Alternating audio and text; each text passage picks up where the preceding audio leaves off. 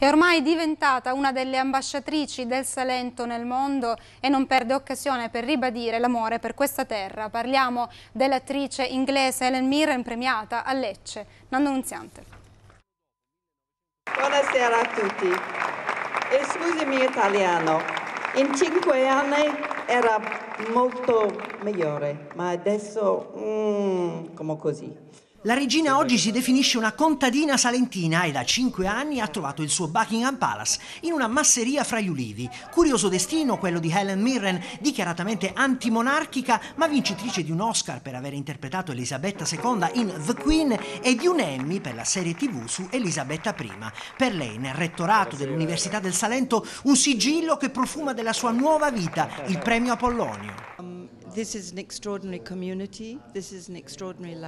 Questa è una comunità straordinaria, una terra straordinaria, un'università splendida. È un grande onore per me, ma è un onore ancora più grande essere accettata dalla gente di questa meravigliosa parte d'Italia.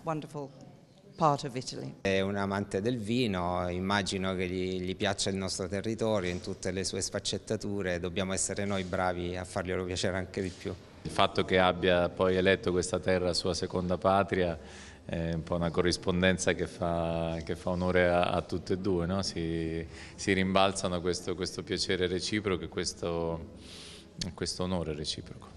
Galeotto fu il set di Sole a mezzanotte. Helen Mirren vive in una masseria salentina con suo marito Taylor Hackford, regista fra l'altro di Ufficiale Gentiluomo e L'Avvocato del Diavolo, fra gli ulivi secolari, un patrimonio non solo naturale per cui bisogna unire tutti gli sforzi. To fight what is ultimately will be a war. Per combattere quella che oggi è una specie di guerra, il mio messaggio è quello di non accusare, non fare gossip, non puntare il dito. Lavoriamo insieme a una soluzione perché questa situazione può essere risolta solo se siamo una comunità.